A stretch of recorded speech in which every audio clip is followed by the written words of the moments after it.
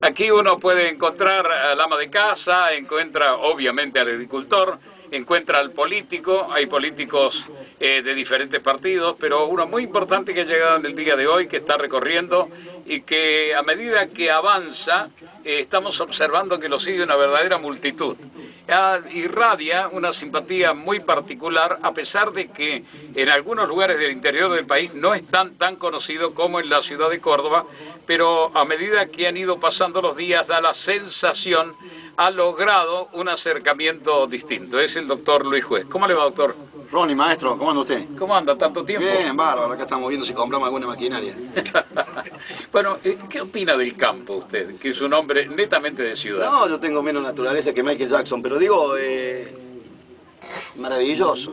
Yo he estado recién, recién tuvimos cuando un productor de Noé Tinker presentaba una plataforma de cosecha nos decía Nardi, recién estamos comiendo con Nardi, el encargado del agro, y, nos decía que acá hay mucha gente que hace 15, 16 meses que no hace una operación, que no vende nada, sin embargo vino a mostrar eh, su actividad. Estuvimos con la gente, ¿puedo mencionar los nombres? Sí, sí, por favor. Estuve con la gente de Mainardi, y la gente de Mainardi me decía, mira juez, hemos aprovechado todo este tiempo para invertir en tecnología, porque cuando la cosa se recupere, porque la gente todavía no pierde la esperanza que en algún momento se va a recuperar, y me parece maravilloso que así sea. Estamos invirtiendo en tecnología porque seguramente vamos a tener que eh, ahí sacar la ventaja con la competitividad. Estuvimos con la gente Basali, también aprovechando, pero todo con una expectativa, esperando que el país arranque después del 28 de junio, esperando que la Argentina se vuelva a poner de pie. Yo no puedo creer que a pesar de la clase dirigente que tiene este país, todavía tengamos esta pujanza, esta conducta maravillosa. Esto hace que la Argentina sea lo que es. A pesar de su clase dirigente, uno mira, se para, ve los que están y se da cuenta de que este país es maravilloso y no nos merecemos muchas veces la dirigencia que tenemos, ¿no? ¿Usted qué cree puede pasar después de las elecciones con este tema del campo, con el Congreso y con las medidas que se puedan tomar? Mire, cualquier, usted para hacer este programa, yo lo veo, acá tiene 10 personas que lo acompañan. El que lo pone al aire, el que le controla el satélite, el que... Usted necesita previsibilidad. ¿Y por qué le vamos a pedir al productor que tenga algo contrario a lo que usted necesita para salir correctamente ante la audiencia monumental que tiene Cadena 3? El productor necesita previsibilidad, necesita reglas de juego, clara. Eh, que le digan, mire maestro, usted métale para adelante, estas son las reglas de juego que el Estado fija. Pero no se la pueden cambiar a mitad de camino. Usted no puede estar jugando al fútbol y a mitad de camino en el segundo tiempo, cuando sale para jugar el segundo tiempo, y dicen, ahora vamos a jugar al tenis. No, pero si yo tengo botín y no puedo jugar al tenis. Esto le pasó al productor agropecuario. En el medio de una cosecha le cambiaron cuatro veces la regla de juego.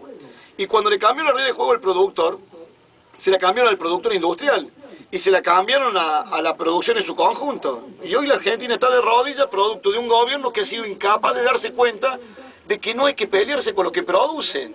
Vos peleate con los especuladores, peleate con los estafadores, peleate con los ladrones, peleate con los sinvergüenza, pero no con el que labura.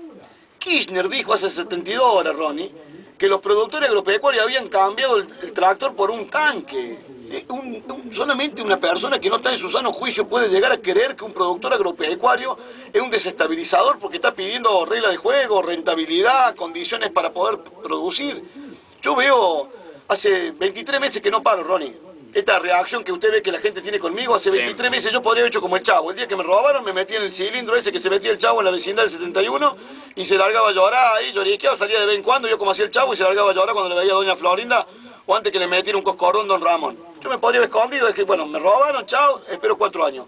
Hace 23 meses que recorro la provincia de Córdoba. Eh, entre el 2 de septiembre y el 11 de marzo del año pasado, yo iba a pueblos de una prosperidad increíble.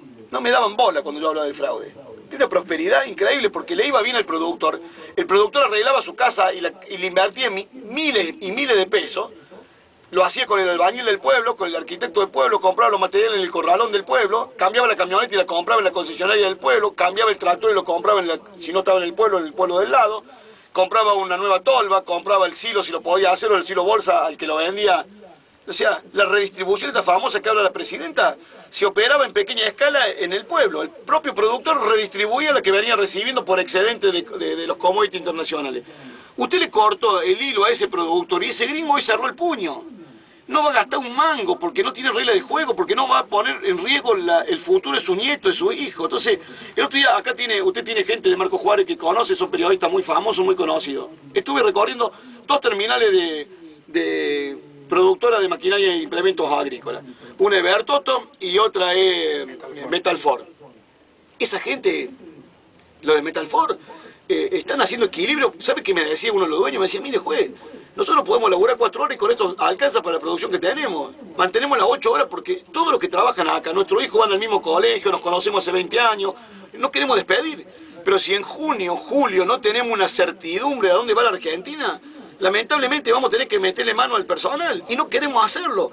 Porque el año pasado, y se hace 10, 12 meses atrás, estábamos, no teníamos tiempo para entregar maquinaria, pedíamos plazo para entregar maquinaria. No, trabajaban todos los talleres mecánicos que rodean, todas las, todas las buloneras, todos los freseros, los torneros. Del, que, esto es una zona, estamos enclavados en el corrupción productivo de la República Argentina. Usted lo sabe, Ronnie, usted es un gran viejo olfateador. Acá todo el mundo tiene un taller, acá el que no fabrica cadena fabrica engranaje, el que no fabrica engranaje. Esto es, está el gran productor y el pequeño pyme que también produce y que da laburo. Todo eso está parado. Producto de un gobierno que con soberbia, prepotencia, altanería, pero con mucho poder ha sometido a la Argentina y la ha puesto de rodillas. Eso es irracional. Yo espero que el 29 la presidenta con poder, pero sí sin superpoderes, con, con, con democracia continua, porque la democracia no está en juego, se sienta a dialogar, se dé cuenta que tiene que tener políticas productivas a largo plazo, que el productor tiene que saber si se dedica a la lechería o criar vientres para, para, tener ganado en pie, o, se dedica a la soja o va al trigo, pero con reglas de juego claras. Yo soy un convencido que el 28 la Argentina puede cambiar. Doctor, eh, hablamos de, de la Argentina y de la realidad del campo. Hablemos de Córdoba. ¿Por qué se lleva tan mal con el intendente? Si es... Oh, pero Ronnie, Giacomino se va a terminar muriendo como Kung Fu. Es suyo. No, pero, pero si usted lo inventó, usted lo buscó, usted lo colocó. ¿Y qué quiere que haga ahora? El tipo le agarró un ataque kirchnerismo, se convirtió en un pingüino bobo. Mire, mire que los pingüinos son raros, pero encima de bobos son peor de raros. Vi un pingüino bobo, raro. Camina así como, ¿qué quiere que le haga? Yo no tengo posibilidad. Para como un pingüino en la ciudad de Córdoba, eh, eh, no sé, como un hincha taller en la Popular Sur, no, no existe, no hay posibilidad. Entonces, ¿qué quiero que le diga? Yo no, no... No sé qué le pasó a este pibe, se enloqueció, lo agarró Cristina y él creerá que está con Pampita y está enloquecido, está eh, nubilado con Cristina. Y la presidenta le dice, yo lo odio, y el tipo viene como de ángel y, me dice, te odio y, me castiga porque, porque yo estoy en contra del gobierno nacional. Pero no lo puedo creer. ¿Qué quiere que le diga Ronnie? No quiero hablar mal de Giacomino porque creo que está pasando un momento de, no sé, de locura. Y cuando le digo que se va a morir como Kung Fu, en serio, yo le auguro que va a terminar como Kung Fu. ¿Y cuando lo acusan usted de haber nombrado tanta gente en la municipalidad? Mire, Ronnie, yo a la gente le di dignidad laboral. Yo nombré 2.500 tipos que estaban con contratos hace 16, 17 años y me siento orgulloso. Yo soy un tipo que no salgo, yo no soy Cristina Kirchner, ¿entiendes? Y me falta altura y mucha billetera y mucho depósito en el extranjero para ser Néstor Kirchner. Yo no me peleo con los laburantes. ¿Qué le di dignidad laboral a un tipo que estaba contratado lo dejé en planta permanente? Y eso lo sabía Giacomino. Y esa política permitió que yo sacara el 52% de los votos, pero también le permitió a Giacomino ser intendente de Córdoba. Ahora es así como, ¿se acuerda el, rubio de Misión Imposible que le decían, Jim, si lo agarran, nosotros estamos, usted está hasta la bola y nosotros no le damos bola, no sabemos ni quién es? ¿Se acuerdan? Misión Imposible cuando el negro se metía dentro de un auto y escuchaba en un grabador la, cinta que le decían... Que se destruirá en, 15 segundos, no sé cuánto demoraba. Bueno, este vago ahora se hace el gil, como si no hubiese sabido nada.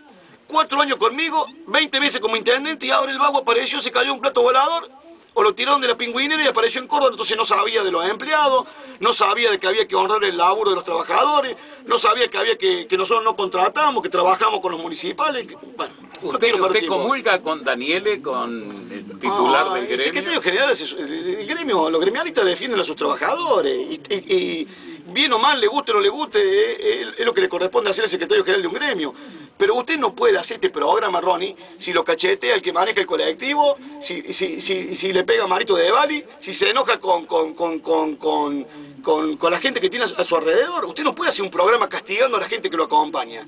Giacomino no puede gobernar la ciudad de Córdoba puteando todos los días a los trabajadores municipales.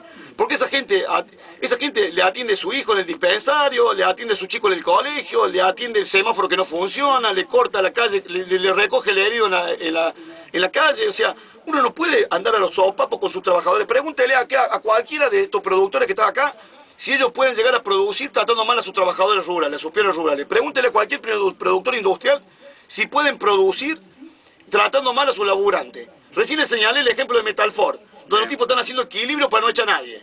O sea, Isacomi no quiere gobernar la ciudad de Córdoba maltratando a los, a los 9.800, 10.000 trabajadores municipales, echándole la culpa de cada problema que tiene.